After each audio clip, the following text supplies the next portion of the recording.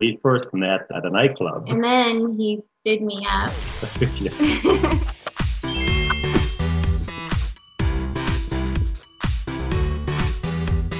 The photography for the wedding was an amazing cost savings. My uncle offered to do our wedding photos and they panned out to be unbelievable. My friend ordered all the flowers from Sam's Club.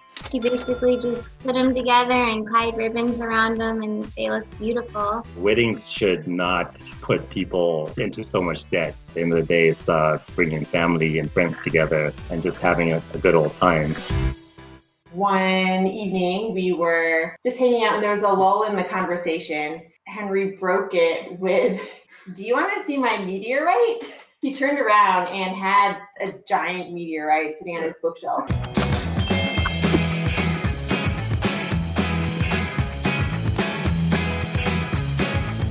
I had wanted to make her engagement ring. This is.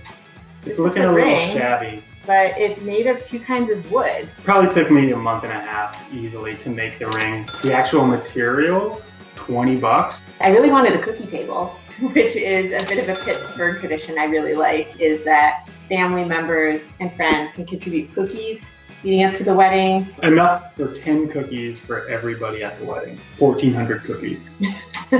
I learned that I'm a bridezilla.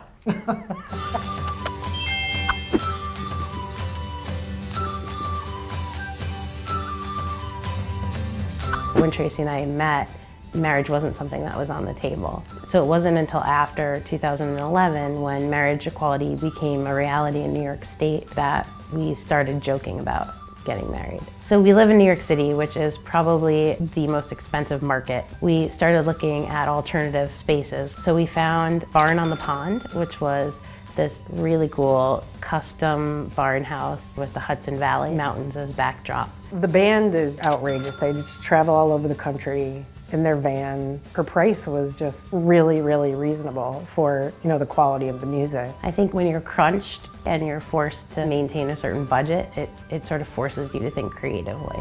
We were taking a shower and I got down on my knee and proposed.